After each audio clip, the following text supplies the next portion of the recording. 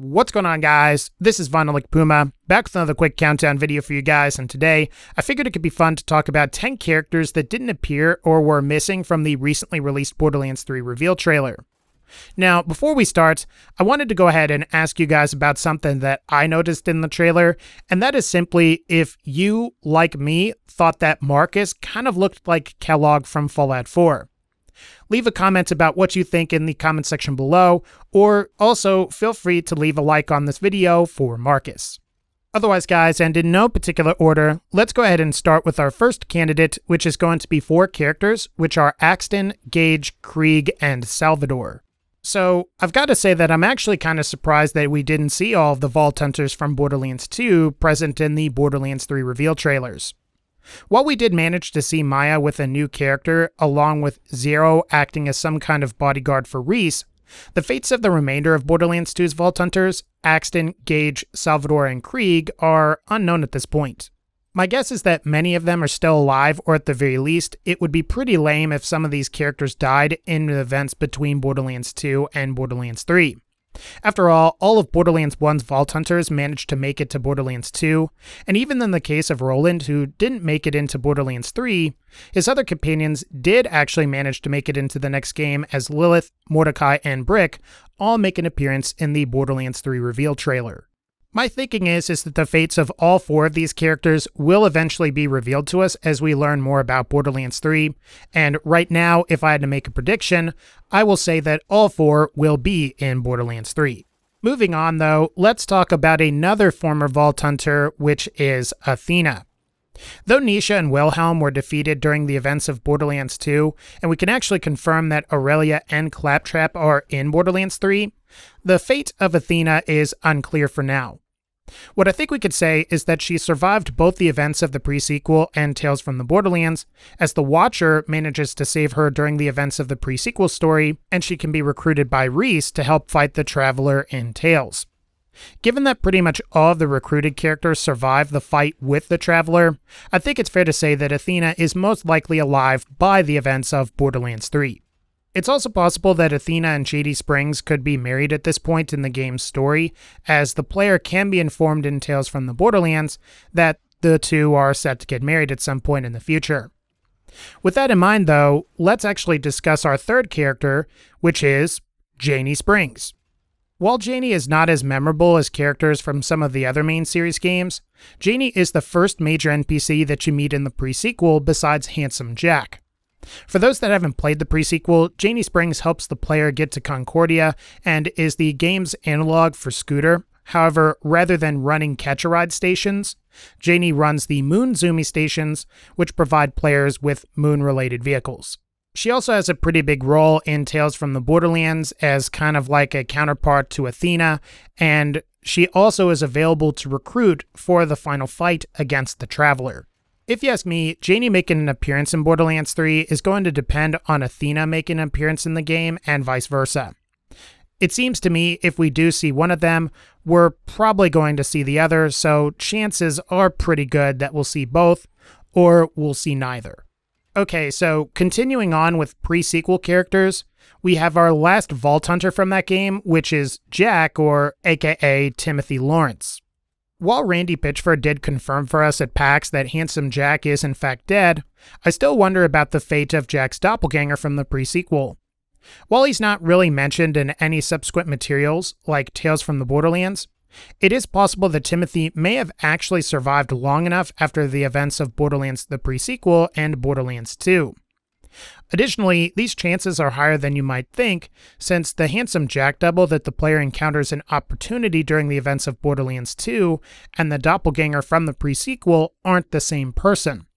This is because Jack from the prequel is surgically altered to look and sound like Handsome Jack, while the body double has a pocket watch that sort of holographically alters his appearance. In my mind, having this character return is going to largely depend on where Gearbox decides to take Borderlands 3. If they're totally done with Handsome Jack and they want nothing to do with him anymore, then this character is probably not returning, or maybe he returns as Timothy Lawrence.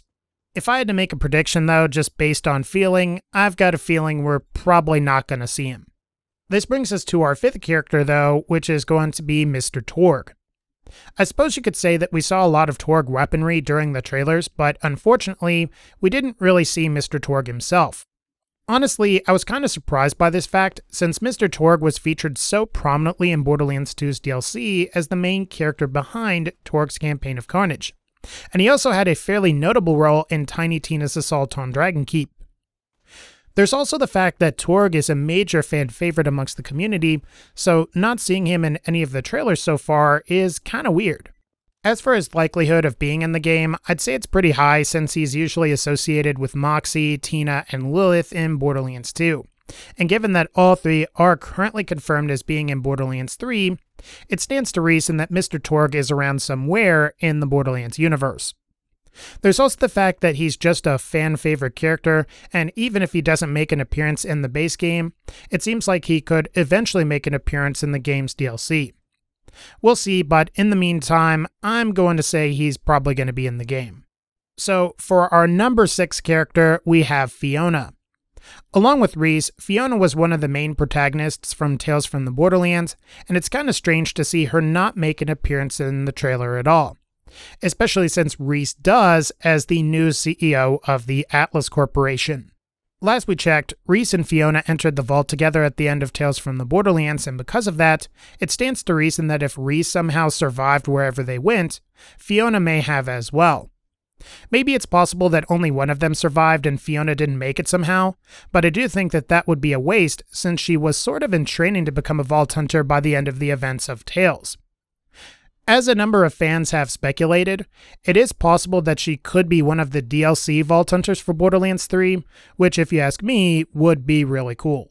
Ultimately, I'd say the likelihood of seeing Fiona again is pretty high for Borderlands 3. Whether she'll be a Vault Hunter or not is hard to say, but I do think that she, along with her sister Sasha, could end up making an appearance. Now, this next character is another one that surprised me, and that is Dr. Zed. Even though he's not quite as popular as Marcus is, Dr. Zed owns pretty much all of the health related vending machines on Pandora, making him a fairly important character to most of the games released so far. While it's true his fate is uncertain as of the events of Tales from the Borderlands, he is alive by the end of Borderlands 2, so it stands to reason that he could be around in some capacity for Borderlands 3. My guess as to why he hasn't appeared yet comes down to popularity or that he's been totally replaced with Nurse Nina, as she made an appearance in the pre-sequel and owned the majority of the health-related vending machines in the game. At the same time, I always felt like Dr. Zed went really well with Tannis, Marcus, and Moxxi, and it could be possible that all four are still together and Dr. Zed just wasn't in the shot. We'll see what happens, but for now, let's talk about his pre-sequel counterpart, which is Nurse Nina. Though she's a relatively new character in the grander scheme of things, I do think that Nina, like Janey Springs, is one of the more memorable characters from the pre-sequel, as she is a Russian-like doctor that speaks in rough English. This, I think, really makes her stand out from the rest of the cast, since no one else really acts like this at all. As far as Borderlands 3 is concerned, though, it's hard to say what her current status is, as she's on the run from Hyperion and Dahl based on some echologs in the pre-sequel. And depending on how that situation is resolved, she could either be in the game or not. I also think it's all going to greatly depend on whether Dr. Zed reappears or not. If Zed reappears, we may not see Nurse Nina. Conversely, if we get Nurse Nina, we might not get Dr. Zed. Or maybe Gearbox will surprise us and end up including both characters. If I had to make a prediction, I would say that we'll probably see Dr. Zed, but we won't see Nurse Nina. But like I've said with a number of other entries, it's hard to say. Now, this ninth entry is actually going to be two characters from the Captain Scarlett DLC for Borderlands 2, which are Shade and, of course, Captain Scarlett herself.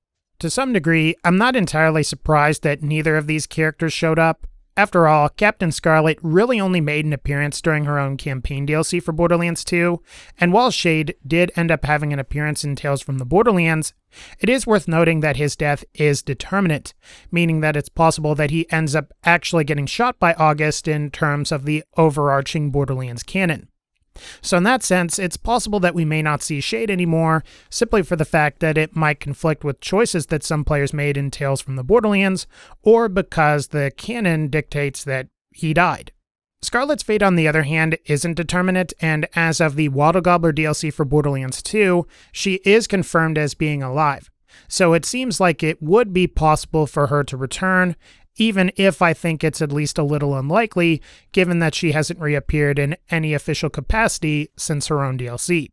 Who knows though, maybe we end up seeing both Scarlett and Shade, just one of them, or neither in Borderlands 3. That said, both characters were really the best part of their DLC, and it would be nice to see them in the upcoming sequel for old time's sake. And for our final entry, Crazy Earl. Now, not seeing Crazy Earl in the trailer I think is not really all that weird, especially since all he really is in most of the games most of the time is a pair of eyes behind a door. Still, though, I think it's fair to say that he is one of the more signature aspects of the Borderlands games, and it would at least seem to me that while he doesn't make an appearance in the reveal trailer, I think it is highly likely that Crazy Earl will be in Borderlands 3. If there's a currency like Iridium in Borderlands 3, Crazy Earl might be the one providing the player with SDU upgrades, just like he did in Borderlands 2 in the pre sequel. So for this one, I'd be surprised if Crazy Earl wasn't in Borderlands 3, and hopefully we'll end up hearing about his inclusion in the next trailer or when we finally get our hands on the game. Alright guys, thank you all for watching. If you enjoyed this video, feel free to leave a like, click the bell so you can be notified when I upload more videos, and as always, and again, thank you all so much for supporting this channel. Take care, and I'll see you all in the next one.